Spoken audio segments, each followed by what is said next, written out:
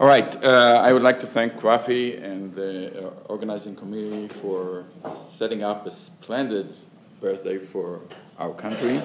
Uh, absolutely amazing week, and uh, as Jim said, uh, happy birthday for Rafi as well. Um, I'm going to give a talk that uh, covers about two decades of method development and a particular biological story that we have been using that method over the years.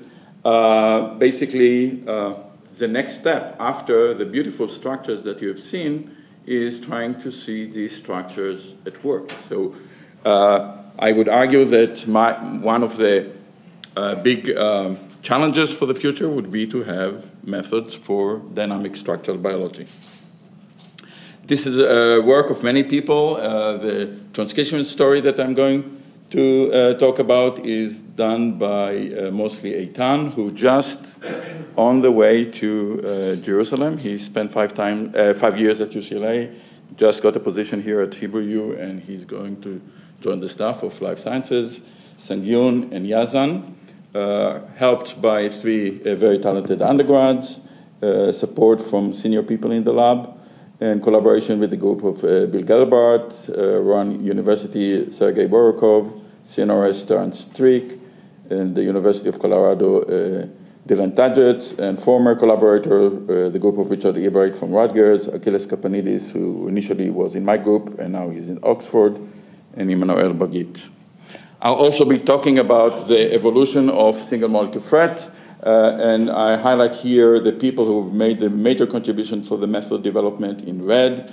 Uh, first and foremost, Taekjip Ha, who was a student in the lab, Maxime, Ted, Achilles, Eyal, Namki, Antonio, Eitan, and Xavier. All right, so uh, when we take two fluorescence dyes, donor and acceptor, we bring one very close to each other. They start to talk to each other, and we heard quite a bit about this when we talked about the history uh, of, of chemistry here in Israel. Uh, fluorescence resonant energy transfer, or more accurately, Forster resonant energy transfer, uh, is depicted here in, in this Jablonski diagram. Uh, basically, we excite the donor, donor emits photons, but if in the presence of the acceptor, instead of basically emitting photons, it can radiationlessly move excitations to the acceptor, and then we'll get acceptor photons. And this transfer is actually operating by dipole-dipole interaction, uh, and basically taking the dipole-dipole interaction uh, semi-classically together with the Jablonski diagram that depicts the quantum feature of the, of the two-dye systems. Forster worked out the theory in the late 40s. Uh, so in 46, he published the first paper. And basically, the most important uh, attribute of, of that analysis is that the energy transfer efficiency scales like one over the distance to the sixth power. That means that this transfer efficiency is very sensitive to the distance between donor and acceptor. And in principle, this could be used as a molecular ruler. So here is a famous uh, graph that describes this formula, which shows that the FRET efficiency is very high at very short distances, it's very low at uh, large distances, and you have here a more or less linear regime that is useful for uh, measuring distances. This was realized uh, by uh, Stryer and Haugland in the mid-60s. Uh, the idea would be if we can do spectroscopic measurements, uh, we can basically look at the combination of donor and acceptor and look at the full spectrum. So if we have lots of donor spectrum, that means that the two dyes are far apart. If we see mostly acceptor emission and little donor emission, that means that the two dyes are close by.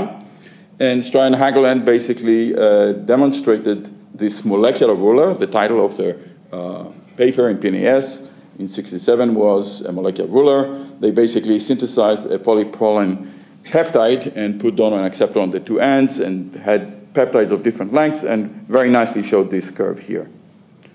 The center of gravity of that new field of measuring uh, molecular distances moved actually to this place here.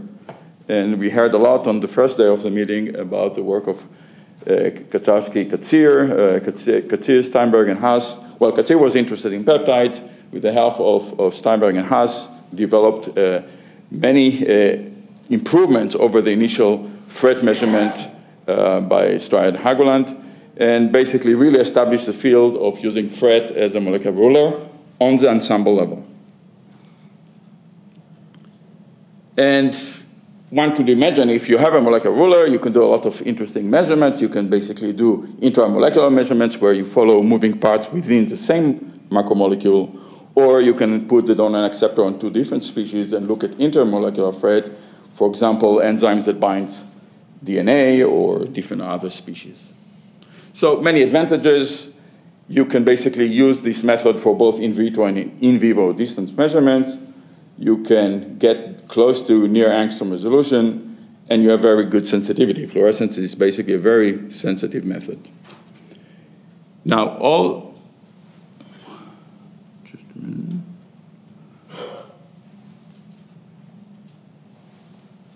So I think I have to, can I get help here?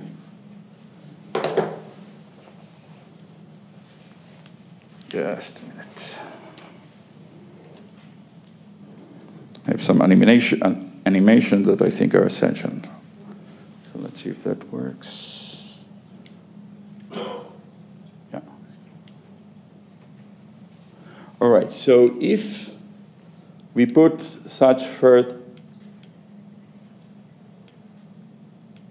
uh, I'm trying to press on this button here. Okay. So all the measurements, starting Haugland, the Katzir group, uh, over the years were basically the measurements that you see here. In your test tube, you have many molecules. In this case, we show intramolecular uh, molecules, so donor and acceptor, basically the distance is fluctuating. And when you do a sample measurement, you basically measure a constant uh, signal for the donor and a constant signal for the acceptor. If you calculate FRET, you basically get one value. That's the average. Of course, if you now go, instead of to ensemble measurement, you go to a single molecule measurement, the situation is very distant, very different. You are now able to look at fluctuations, and you basically can measure the uh, fluctuations in the distance between two parts, or basically you can use this molecular ruler to look at moving parts of molecular machine. Instead of having a single value for the FRET, now you get histograms, you can separate subpopulations. So that could be basically a very good thing. So, all right.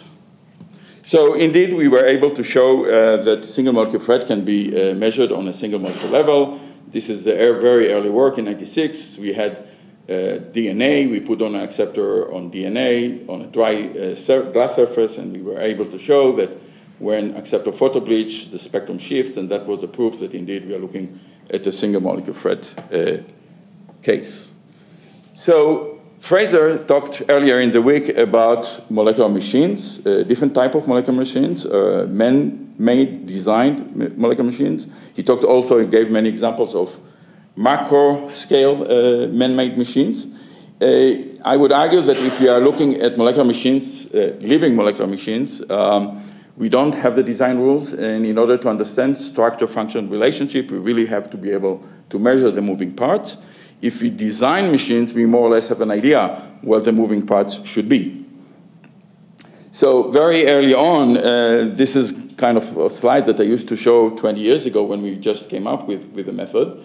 Uh, if you can do the single molecule measurement uh, FRET measurement, you should be able to follow protein folding. You should be, we talked a beautiful, uh, we heard from Rudy a beautiful talk about F1, F0 ATPase. You should be able to see the rotary motion. You should be able to see enzymes that process DNA and walk over DNA. Um, so that was the vision.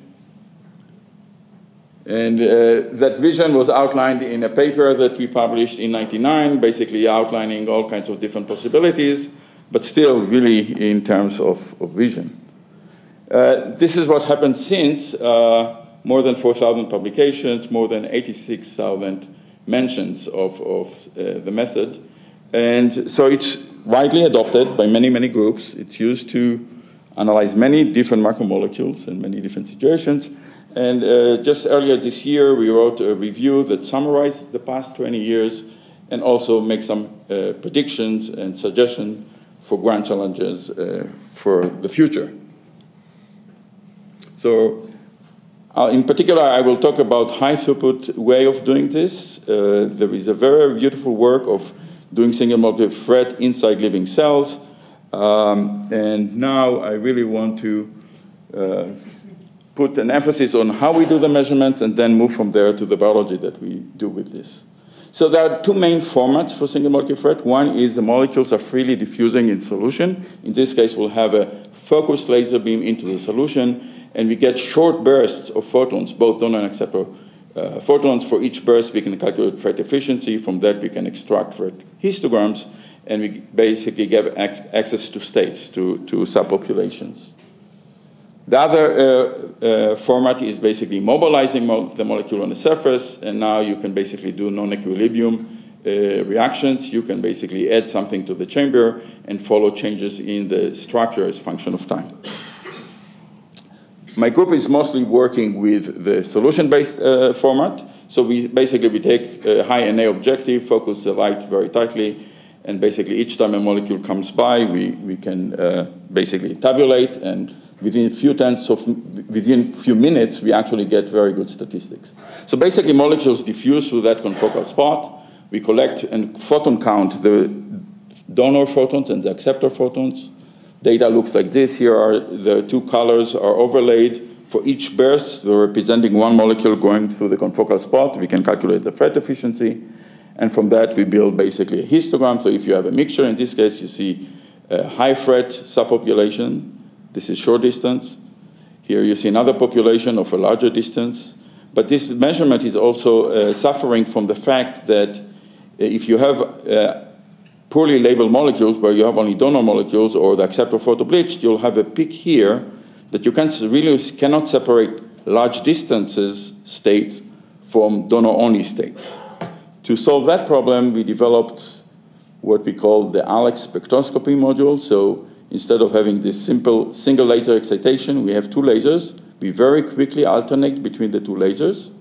And we basically get more, more information to define two different ratios, the FRET ratio and the stoichiometry ratio, and that converts this whole apparatus to basically single molecule flow cytometer. And you can get the same type of things you can do with flow cytometer. You can really focus on species of interest. You can electronically purify your sample and look at what is interesting. So that brings me to the biology, and we heard uh, Sunney beautifully uh, introduce the uh, central dogma of biology and talked about transcription. So uh, in each uh, cell in our body, uh, the genome is encoded in the DNA in order to really end up with the machine. Those are the proteins that do the work. The DNA uh, genetic information is basically transcribed by the enzyme called RNA polymerase to messenger RNA, and then the ribosome basically uh, converts that information into the chain of, poly, uh, of amino acids to form the protein. There is one addition to this very crude uh, depiction of the central dogma, which is protein degradation. So I would argue that Israel has very nice representation of the central dogma. We still need somebody to win a Nobel Prize in uh, replication. Uh, hopefully that will come soon. Uh, and my group has used single molecule FRET mostly to study transcription, study RNA polymerase. So I'm going to show you several different results on RNA polymerase that we acquired over the years. Here is the bacterial transcription cycle. In order for the enzyme to copy the genetic code and generate the messenger RNA, the enzyme needs to find the promoter, binds the DNA in the right place, open a transcription bubble. If nucleotides are being provided, it will start to transcribe. What happens at this point, for most strong promoters, the enzyme will start transcription, abort it, make a short transcript that is being released, try again, try again, try again. Think about old VW uh, air-cooled, going up a steep hill, the engine basically shut off in the middle of the wheel, hill, and the enzyme slides, and, and the machine, the car slides back, try again, try again, and if there is enough thermal energy, it will go over the hump, and at that point, the enzyme basically leaves the promoter, and is committed to go very processively all the way to termination. So there is a huge difference between initiation, which is non-processive, to elongation, which is highly processive. The enzyme then, the bubble collapses to much smaller bubble, the enzyme goes all the way to termination, the uh, message is being released, all the components are being released, are being available for the next cycle. So uh, just the nomenclature. Here is a transcription bubble. The enzyme is already bound to the promoter. Here are the nucleotides coming from uh, uh, the secondary channel. that's just the, the upstream uh, DNA is here. This is downstream DNA. Promoter template strand. This is information that we want to basically copy. This is a non-template strand. This is a transcription bubble. The active sites where it, additional nucleotides are added and forming a covalent bond to the growing chain. This is the RNA transcript. Trigger loops that basically control how the nucleotides come in. That, those are the NTPs, transcription sites. Here we have the exit channel. This is where the RNA is going to come out of the enzyme. And initially, during initiation, this is blocked. Think about a cork at the end of, of a wine bottle. Uh, sigma region 3.2 is basically uh, closing this uh, point here, and we'll come back to that point later. Uh, all right, so what I'm going to do, try to describe now are three different steps within initiation itself. So I showed you the whole circle, uh, bacterial transcription circle. Uh, we are going to focus just on initiation. Initiation is basically the most important step in transcription. Initiation is at the heart of gene regulation, gene expression and gene regulation. This is where all the feedback loop basically comes in. And there are many steps within this initiation that gives opportunity for different factors to come and affect this feedback loop. So I'm going to talk uh, initially, and I'm not going to present what the work that we've done in a chronological order. I'm going to present it in this order of basically the cycle. So first we'll talk about the open complex. This is uh, actually a very recent work. Then we'll talk about abortive initiation. This is older work. And then promoter escape, also recent work. And virtually uh, some ex excursion to the most difficult uh, system, that's a human POL2. And we are making some he uh, heads, uh, nice heads towards doing the same type of analysis for the human POL2. All right. So the open complex, here you see a crystal structure. This is solved, and you see the transcription bubble. This is upstream, downstream. And basically, we make a large library of DNA promoters where we put donor and acceptor, and we classified those uh, promoters as scratchy coordinate, where the donor and acceptor are actually telling us something about the bubble being stretched or being closed. Or the two dyes are on the bubble and they give us this vertical coordinate where the bubble is basically being squished or being opened.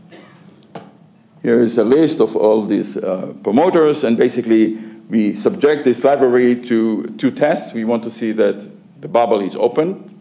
Uh, that's one test. The other one is that we are able to go above the initiation into elongation so we get activity. And the highlighted uh, uh promoters in yellow are active they go through all the tests, so we can work with those. And I won't go through the analysis, but there is a lot of analysis going into this type of uh, data where we try to analyze not only get distances between the dyes, but also tell, we, we can actually say something about how stable that distance is or either any fluctuations. Uh, distance uh, that comes from uh, basically fluctuations uh, between the in the bubble or in, in between the, the sites. So uh, the, there is a flow of analysis. I'm not going to explain the analysis. Just this is the, the, the, the, the flow, how we do those analysis. And I just go here to the salary. What we find on these nine promoters that we were able, uh, that were active, we find that each one represent actually not one distance, but two distances. So that already very strongly suggests that the bubble is not in one state. There are two states for the bubble in the open complex, even before you add nucleotides. And here is one set of distances, and we have 100% full agreement with the crystal structure. In the second case, we actually have big deviations. And what that really means is that the bubble fluctuates even before you provide it with its fuel, the nucleotides. And uh, there is some discussion in the literature that the bubble might do that, and this has to do with something called uh, um, as, as transcription start site selection. So um, there are different isoforms of transcript that start at different positions, and uh, depending on different uh, on gradient of concentration of different nucleotides, you can actually start the transcript at different places. And we think that the mechanism for this has to do with this type of fluctuations. So this is one story. Second story is uh, uh, an older story. This is a story that actually was discovered in the early 80s in my own department, way before I arrived to UCLA by Jay Gralla, who did a very interesting experiment for the abortive initiation. I explained the abortive initiation, the old VW that goes up the, the hill and, and the engine shuts off. Basically, what he found out, he did a, an experiment called footprinting experiment. In this experiment, you basically cross-link the enzyme to the DNA, you chop off all the exposed DNA, and then you release the protected DNA and you analyze it in a gel. So when you look at the protection along in the elongation stage, it doesn't matter where the enzyme is. In elongation, the protection is always the same. However, if you do the same trick in initiation, that's not the case. And you can trap the enzyme in initiation by starving it with one or two nucleotides, so it it will never escape into elongation. And when you do that, you find out that the protection basically is sharp on the upstream, uh, on the upstream uh, side and, and basically very different uh, uh on, on the downstream side. So uh, that was a big puzzle in the field for many, many years. Basically, there was no method that would allow to try to mechanically explain why the transcript uh, in abortive initiation look very different than in elongation. So over the years, because this phenomena could not be explained, people came up with three different models. The first model is called the inchworming model. Basically, it attributes conformational changes to the enzyme itself. Here is a transcription bubble the enzyme stretches like basically an inchworm. So the backside of the enzyme is staying put on the promoter, but the leading edge is moving forward, loses a transcript, try again, try again. So that's one model to explain the, the, the, this footprinting. The next model is not conformational changes in protein, but conformational changes in the DNA. So the enzyme basically pulls on the DNA and the bubble grows loses a transcript and do it again. And the last concept is a concept really coming from single molecule experiment. This is basically the enzyme sits for most of the time in the back position, make very brief transcript, it slides back and doing it again and again. So now with our molecular ruler, we can basically go and test all these models. So we can look at the downstream distance. All three models predict that there will be a shortening of that distance. So that's a good control experiment. And here is the measurement. So this is the open complex. And we add nucleotides, and you can see that the cloud here shifted to the right. So indeed, we see that motion of the enzyme. The control works. The transient excursion uh, model basically predicts changes in the backside of the enzyme. And the measurements show that absolutely no distance change. So we can already rule one model out of the three. And the DNA scrunching model basically predicts that there will be changes in the bubble size. So if we put these dyes upstream and downstream of the bubble and do the experiment. So here you see two populations. One is the complex, and here you have the free DNA. You add the nucleotide, and you see that this cloud here shifts to the right, and that basically shows that indeed scrunching is in charge here. So this measurement was repeated for many different positions, and conclusion is very clear. Since this worked in 2006, this basically point was put to rest, and many people accept the scrunching as the operating mechanism for initiation. The last story is a kinetic story, and that has to do with what is happening within the uh, initiation. So here we basically add nucleotides, we get to position seven, and the transcript basically pushes the cork. And here there is a balance of forces. So either the cork basically is removed, and then transcription proceeds all the way to the end of the exit channel. At this point, basically sigma falls off. We are committed to go all the way to elongation, and a full transcript is generated. The bubble shrinks at that point and you go all the way to termination. Another option is that the, due to you know, the thermal uh, agitation at exactly at this point, this force basically wins, and at that point, the transcript is lost, and this is really the abortive initiation. So uh, as I told you, for strong promoters, we get many cycles like this. So basically, the common model for this was that you go from the open complex up to position seven, and here you have a branching. Either you lose transcript and you start again and again, and if so happened you had enough energy to go over the hump, you go all the way to elongation and termination. And we wanted to look into this more carefully, so uh, we basically designed a new assay. In this case, we are not really doing a pure single molecule experiment. We are preparing the system at different positions in initiation by starving it by one, two, three nucleotides. So here we can, on these different uh, promoters, we can have position two, position four, position seven, and on this one we can have position two, six, and 11. Now we can march the enzyme to, let's say, position 7, and then add the missing nucleotides and look at the kinetics of transcription. So this is, we do this by hybridizing a probe to the transcript and then analyzing at different time points. So we basically do a quenched kinetic assay. We have multiple test tubes. In each test tube, we run reaction, but we stop it at different times. And then we add the probe and read. From that, we get a kinetic curve.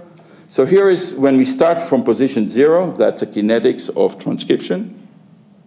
When we start at position 11, which is already the first stable elongation position, you would expect the reaction to run a little bit faster, but what we find is exactly the same speed. But if we start in the middle at position 7, we get a surprising result. We see a much slower reaction, and that really is very puzzling.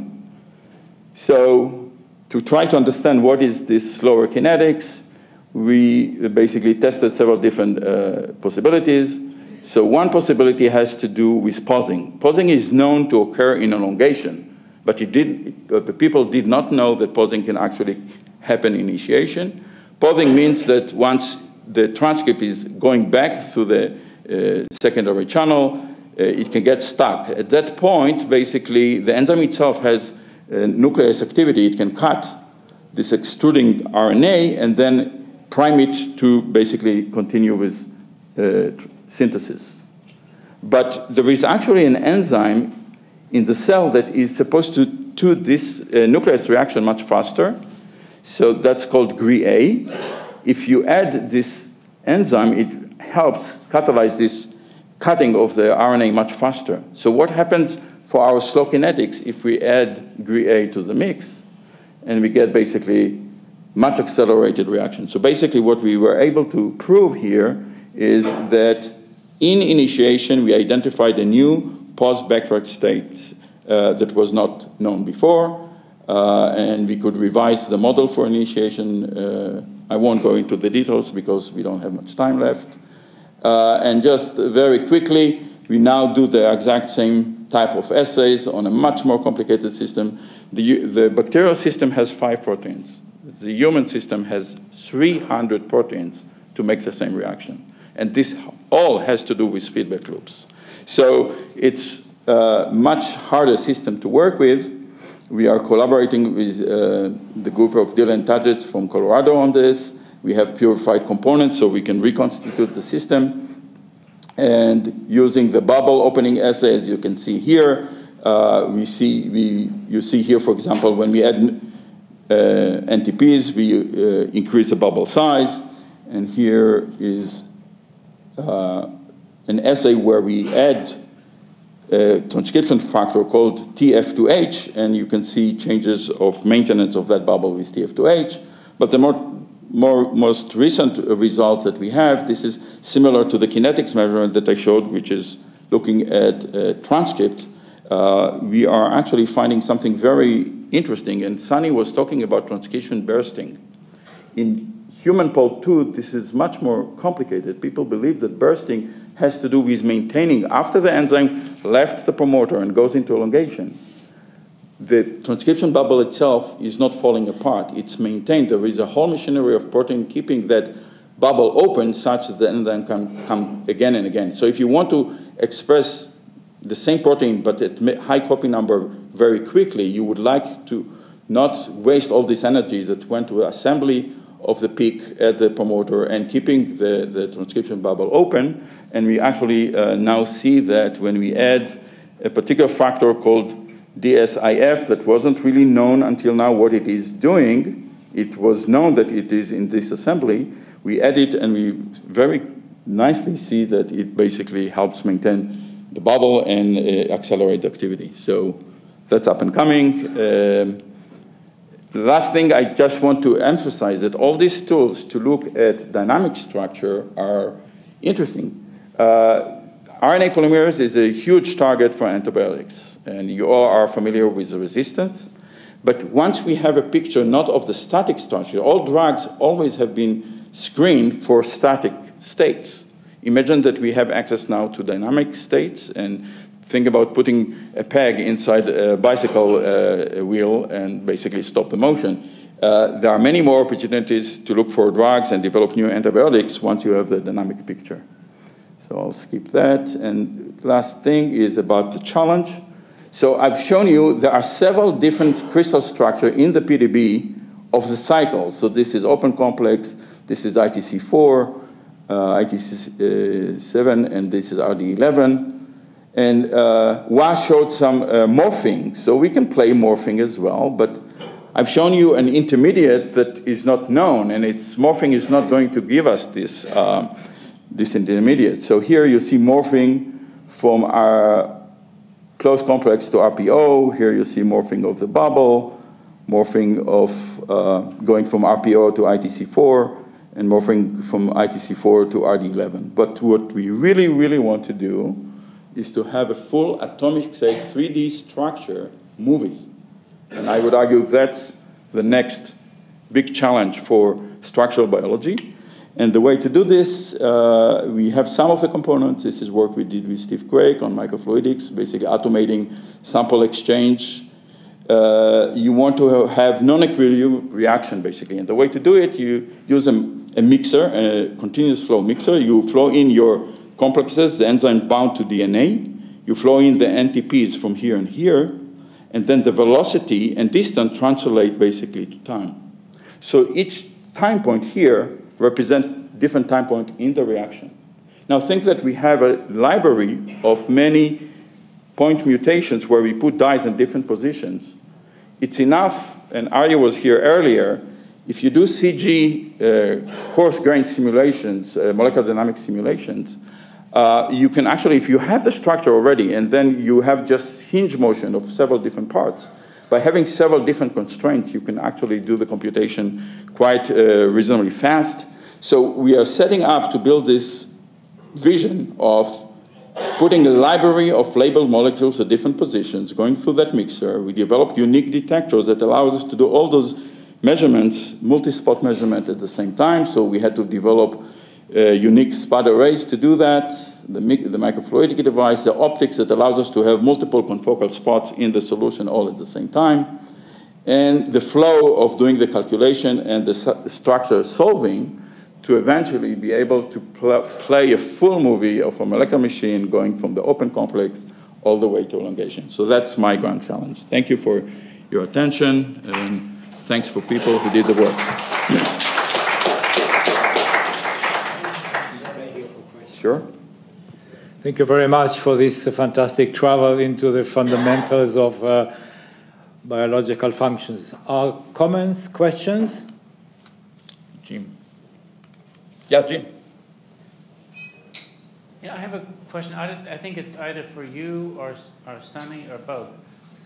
Something that's emerged over the past few years is that many cancer cells, when threatened with a targeted inhibitor, will within as many as, as short as two or three hours, will undergo a cell state change and complete chromatin remodeling. And that's, it kind of touches on the sort of experiments that you talked about and what Sunney talked about, but it's basically a concerted reorganization of the entire nucleus. Well, I, but I, I think that how one, how does one look at the biophysics of that? Well, I, I'm, what I showed here is very basic biochemistry, basically in vitro biochemistry in the future, you would like to be, be, able to do this inside live cells, and there are some initial experiments going in this direction. But I think the question that you are asking has to do more with morphological changes and mechanics of cells in tissues. And that's basically the signaling that activate, for example, EMT. So there are very large arrangements. If you have just the, the, the focal adhesions, if, if there is a change in focal adhesion, uh, you have you know, in tissue, cells touch each other and they touch the extracellular matrix. If uh, you have some changes there and you have already uh, several mutations, uh, P53 and, and RAS, KRAS, you know, one more trigger, and it could be even mechanical, that would be enough. Other comments, questions over there? Any so more? I just want to go back to your almost number three, and that's the last one. First couple of slides on FRET. Um, how accurate is the FRET for distances between the donor and acceptor that are small yeah. when there begins to be significant right. overlap? So there has been tremendous work done over the past 20 years. We used to think that single molecule FRET, in contrast to ensemble FRET, will be better for looking at changes, not at absolute distances because absolute distances are very important, uh, very difficult. You have the issues of dipole orientation, kappa square, all kinds of different things, uh, quenching, blinking. I, I, don't want to go into this. We are actually writing a very comprehensive paper that will be uh, published in JCP on all these issues.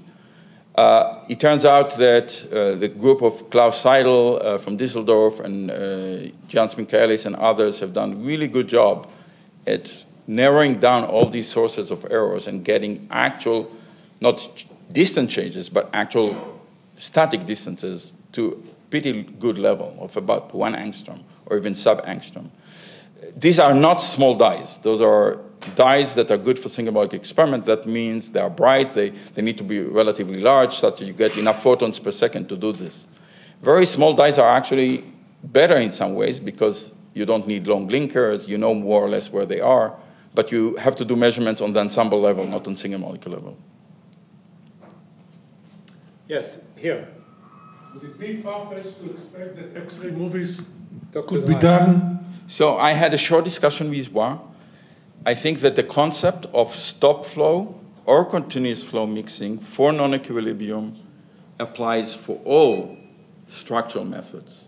It's hard, but for cryo-EM, I think it's going to be easier uh, for, for X-ray crystallography, that will be much harder. But people have done enzymatic work inside crystals.